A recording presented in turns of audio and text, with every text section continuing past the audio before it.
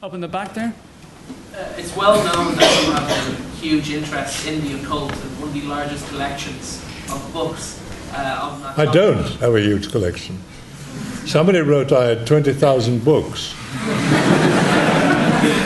I'd have to live in a bath.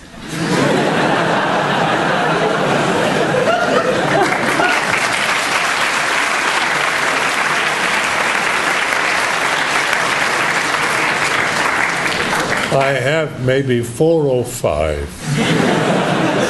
I have The Devil Rides Out, first edition, signed to me by Dennis Wheatley. There's a book just come out about him called The Devil is a Gentleman.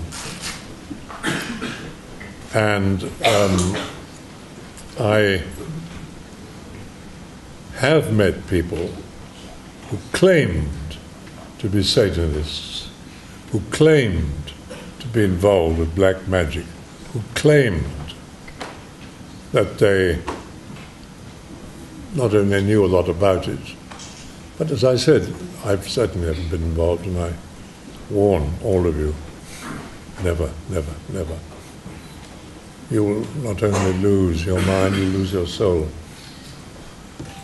Uh, I, I don't have a big library in the occult. No, I know these.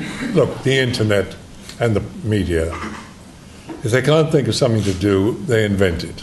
if they can't think of something to say, I mean, they invent it. I don't know who thought that one up.